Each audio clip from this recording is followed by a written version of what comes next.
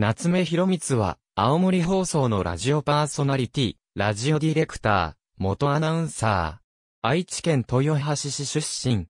別名は、ガチョウ兄さん、横丁太郎。愛知県立豊橋東高等学校卒業後、大阪芸術大学に入学。在学中は、毎日放送で、カメラマンのアシスタントを務めていた。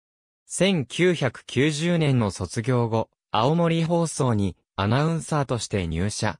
以来、ニューススポーツ実況、情報番組リポーターのほかラジオパーソナリティとしても活動。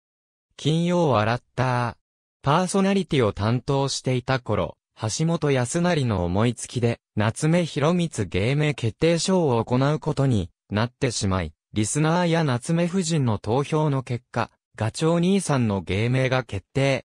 以来、この名義で出演した。2009年4月より、アナウンサーからラジオディレクターへ移動した。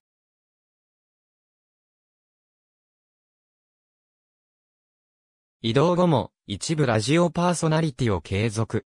また、フリーアナウンサーの横田光之とテレビ、新潟アナウンサーの斉藤久美子の二人は、同じ高校の後輩にあたる。